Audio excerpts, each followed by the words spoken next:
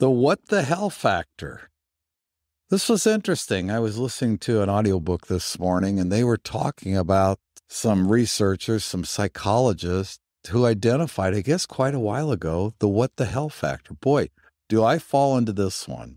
Here's how it goes. You're beating yourself up. You're on a diet. You're using self hate and, and admonishing yourself and being disappointed in yourself.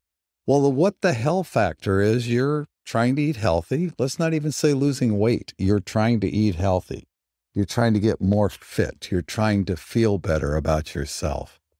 Well, the what the hell factor is you're at a party and there's a piece of cake.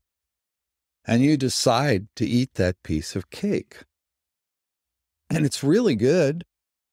But once you eat the piece of cake, that's when the self hate comes in. That's when you start saying, Oh my God, I failed again. I failed again. What am I going to do? Oh, well, today is ruined. I might as well have another piece of cake. And what the hell? Bring me a cocktail too. It is so easy to do, and I have over the years done it many, many, many times myself.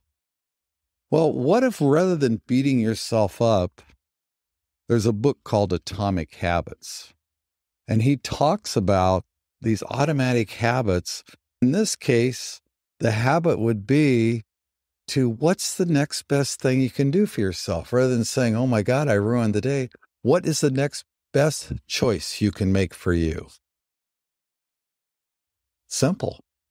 Start with self love. Don't think about the past. Just move on with the next best choice. So rather than having that second piece of cake, you make that conscious decision to make the next best choice for yourself. Doesn't that sound simple? I think it really could be. Give it a try. Give it a try. It doesn't hurt. Most of these things I throw out there, they're for you to try. Do they work for you? Maybe yes, maybe no. Just know there are tons of solutions out there, and you will, you will find the ones that work for you. So until I talk to you tomorrow, may you move on, may you stay healthy, be happy, live with passion and purpose. Oh my God, that's that's the key right there.